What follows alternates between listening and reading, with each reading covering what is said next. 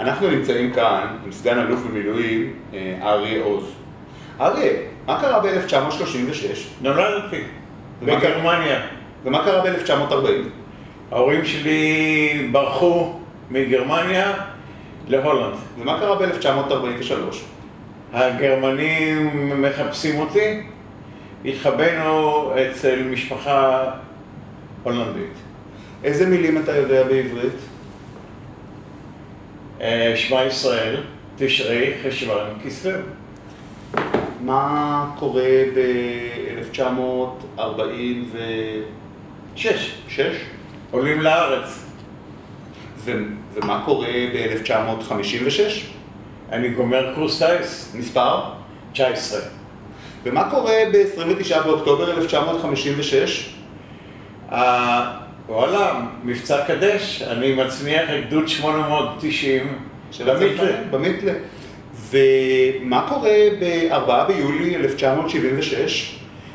אני מתמנה לקברניט של מטוס הרקולס מספר 3 ויוצאים ל... ל... להציל, אנטבה. כן, מבצע אנטבה. אתה אחד מארבעת הקברניטים של מבצע אנטבה. ומה קורה במאי 1991 במבצע שלמה? אני מטיס אה, 747 אה, כעזרה לחיל האוויר. באל על? אני קברניט באל על, ראש אגף המבצעים, ומביא מאדיס אבבה 1,087 אתיופים. שיא העולם. שיא העולם בהטסת נוסעים במטוס, שיא גינס.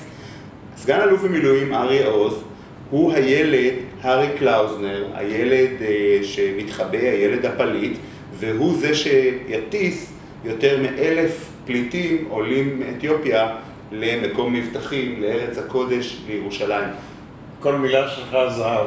תודה רבה לסגן אלוף במילואים אריה עוז היקר. וזה. ספרו, שמע ישראל, חש... תשרי חשוון כסלו, ואני מאוד ממליץ אה, לקרוא את הספר הזה.